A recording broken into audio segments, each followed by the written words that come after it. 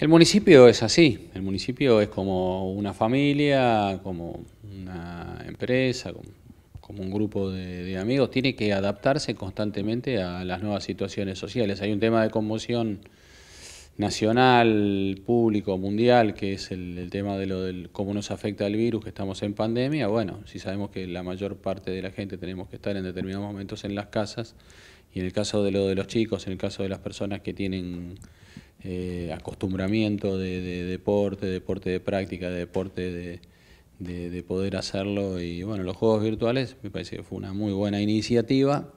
Y bueno, la mirada está puesta en que en algún momento no haya necesidad de que sean virtuales, ¿no? Pero mientras tanto, así. Y siempre con la búsqueda y el horizonte puesto para cuando los próximos juegos, en tal caso, sean en, en los campos de deportes, en los lugares de aire libre, donde tiene que ser.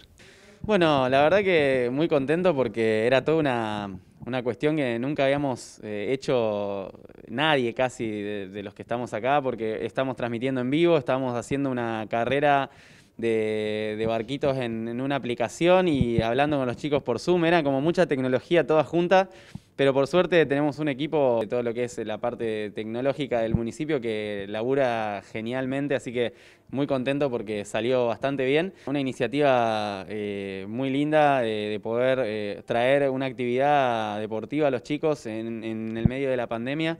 Eh, creo que los jóvenes hoy en día son los que más relegados quedaron con todo esto, porque muchos adultos todavía pueden salir a trabajar o tienen posibilidad de ir al supermercado o distintas actividades que tienen permitidas y en el caso mío soy padre y, veo a mis chicos todo el día en casa sin poder hacer nada.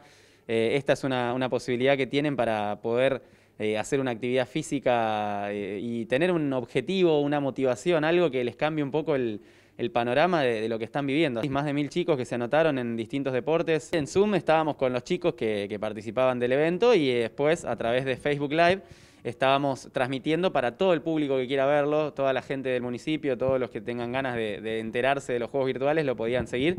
Así que muy contentos de, haber llegado a tanta gente. Me encantaría poder liderar el año que viene los juegos en vivo y en directo. Ojalá eh, se pueda llevar a cabo, ojalá esta pandemia termine algún día y podamos eh, volver a la vida medianamente normal y llevar adelante unos juegos San Isidro, pero de verdad, sin, sin de manera virtual y ojalá sería un sueño hecho realidad.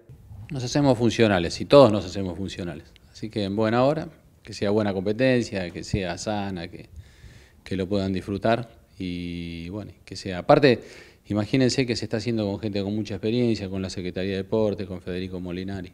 Bien, muy bien.